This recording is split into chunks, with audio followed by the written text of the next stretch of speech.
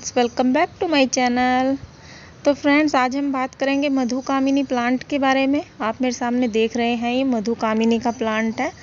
तो मुझे एक कमेंट आया था, उनके प्लांट पर फूल नहीं आ रहे हैं।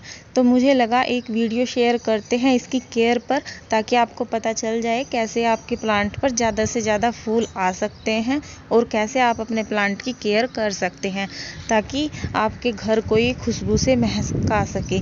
तो ये मधुकामिनी का जो प्लांट होता है, इसे मुरैया पेनिकुलाटा भी बोलते हैं। और इसकी बहुत सारी वैरायटी भी मिलती हैं। मेरे पास इसकी एक वैरायटी और है, उसे टेबल कामिनी भी बोलते हैं मिनी कामिनी भी बोलते हैं। कई सारी वैरायटी इनकी होती हैं और इनके फूल जो आते हैं, ये गुंछों में आते हैं। ये देखिए इस तरीके से। एक ही जगह इसके कई सारे फूल निकलते हैं, एक ही ब्रांच पर। और ये प्लांट जो होता है, इसकी खुशबू, इसके फूलों की इतनी अच्छी होती है, इसके आसपास से निकलते ही बड़ी अच्छी भीनी भीनी सी खुशबू आती है। तो इस प्लांट को आप अपने गार्डन में ज़रूर ऐड करें। तो वैरायटी तो आपको इसकी मिल ही जाएँगी और बहुत ही ज़्यादा महँगा भी नहीं मिलता है। ये फिफ्टी और सिक्सटी के आसपास ही मिल जाएगा। तो आप इसे अप्रैल में नर्सरी से परचेज़ कर सकते हैं। इसके अलावा इस प्लांट पर ये प्लांट कभी सूखता नहीं है। एक पेरिनियल प्लांट है।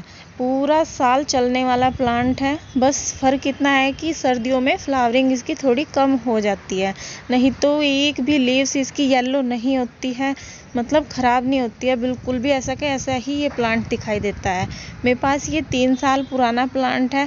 मैं इसे बहुत छोटा सा लेके आई थी और तब से बिल्कुल ऐसी की ऐसी इसकी लीव्स तो बिल्कुल येलो नहीं होती हैं। बहुत ही अच्छा प्लांट है। और गर्मियाँ आते ही फिर से फ्लावरिंग के लिए ये शुरू हो जाता है। हार्डी सा प्लांट भी हम इसे बोल लेते हैं, जो कि बहुत ही मतलब कम केयर वाले प्लांट होते हैं, उन्हें हार्डी सा प्लांट बोल देते हैं। तो इस प्लांट की बात करें तो इसे डायरेक्ट सनलाइट में आप रखिए। मैंने इसे अपनी छत पर रखा हुआ है और पूरा दिन की धूप इस पर पड़ती है।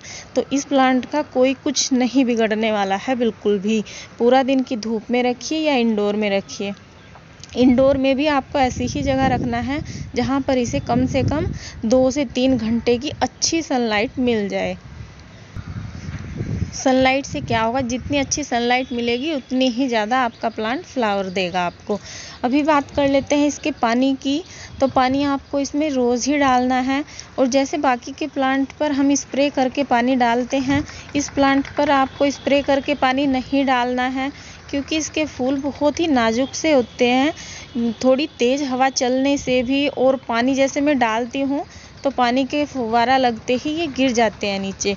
तो आपको इसमें सिर्फ़ नीचे ही पानी डालना है।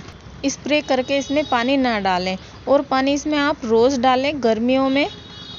सर्दी में अगर आप एक दिन छोड़ के भी पानी डालेंगे तो भी ये अच्छे से आपके पास रहेगा। कोई ख़राब होने वाला प्लांट नहीं है, बड़ा हार्डी सा प्लांट है। तो अभी बात कर लेते हैं इसमें, आपको सोइल कैसे रखनी है? तो सोइल आप इसमें वेल ड्रेन रखिए। गमले में अगर आप इसे लगा रहे हैं तो वेल ड्रेन सोइल रखिए। एक हिस्सा आपको मिट्टी लेनी है और एक हिस्सा आपको वर्मी कंपोस्ट लेना है। अगर आपके वहाँ की मिट्टी जो थोड़ी हार्ड है तो आप उसमें रेत मिला लीजिए। इसके अलावा आपको रेत मिलाने की ज़रूरत नहीं है। सिर्फ़ वर्मी कंपोस्ट और गोबर की खा, खाद और मिट्टी। इन तीनों चीज़ों का मिश्रण ही प्लांट के लिए बहुत अच्छा होता है। तो इन तीन चीज़ों का ऐड कीजिए आप और अपने प्लांट को लगा दीजिए, बहुत आसानी से ग्रो हो जाएगा। अभी बात कर लेते हैं इस प्लांट को आपको फर्टिलाइज़र कब करना है। खाद इसमें आपको कब डालनी है। तो पंद्रह दिन में एक बार आपको इसमें लिक्विड बना के ज़रूर डालना है। लिक्विड बना के क्या होगा, उससे आपके फूल अच्छे आएँगे और ज़्यादा मतलब छोटे भी नहीं होंगे अच्छा साइज़ रहेगा फूलों का भी। ये देखिए, नहीं तो इस पर बिल्कुल छोटे छोटे से फ्लावर आते हैं और अभी मैं इतनी केयर करती हूँ तो इस पर फूलों का साइज़ इसका अच्छा है। तो आप इसमें पंद्रह दिन में एक बार लिक्विड बना के ज़रूर डाल दीजिए। गोबर की खाद से भी आप लिक्विड बना सकते हैं और वर्मी कंपोस्ट से भी लिक्विड बना सकते हैं। इसके अलावा अगर आपके पास ये नहीं है तो आपको एक काम करना है, बनाना के छिलके लेने हैं और उन्हें पानी में भिगो के एक दो दिन रख दीजिए। उसके बाद जो आपका पानी वो हो जाएगा, वो आपको इसमें डाल देना है। बनाना पील बोलते हैं। उससे भी बहुत अच्छी आपके प्लांट को ये एनर्जी देगा। और फ्लावरिंग के लिए भी बहुत अच्छी हेल्प मिलेगी। बनाना पील बहुत अच्छा होता है आपके प्लांट के लिए, उसका कोई साइड इफ़ेक्ट भी नहीं होता है, बिल्कुल ऑर्गेनिक फर्टिलाइज़र होता है। तो आप बनाना पील भी इसमें यूज़ कर सकते हैं। अभी बात करते हैं इस प्लांट को ग्रो करने की, आप इसे ग्रो कैसे करते हैं? तो बरसात के मौसम में, अभी जब रेनी डेज़ हमारे चलेंगे, उस टाइम पर हम इसे कटिंग से ग्रो कर लेते हैं। तो कटिंग देखिए, आप, हमें इसकी ऐसी हार्ड सी कटिंग लेनी है। तो हम इसे कटिंग से बहुत आसानी से तैयार कर लेते हैं। और अगर आप इसे कटिंग से तैयार नहीं करना चाहते हैं तो इसी प्लांट पर, ये देखिए, इसी प्लांट पर इसका बीज बनता है। ये, इसका बीज दिखाती हूँ। ये मैंने इसका बीज सिर्फ़ दिखाने के लिए एक रखा हुआ है। इस तरीके का बीज बनता है इसका। तो ये बीज बन जाएगा इसका, इसे हम हटा लेंगे और इससे भी इसे ग्रो कर सकते हैं। अगर आपको बीज नहीं चाहिए तो जैसे ही आपके प्लांट पर फ्लावरिंग अभी बंद हो जाएगी, अभी ये फ्लावर दे रहा है। लेकिन जब इस पर फ्लावरिंग बंद हो जाएगी, हम इसे थोड़ा थोड़ा कट कर देंगे।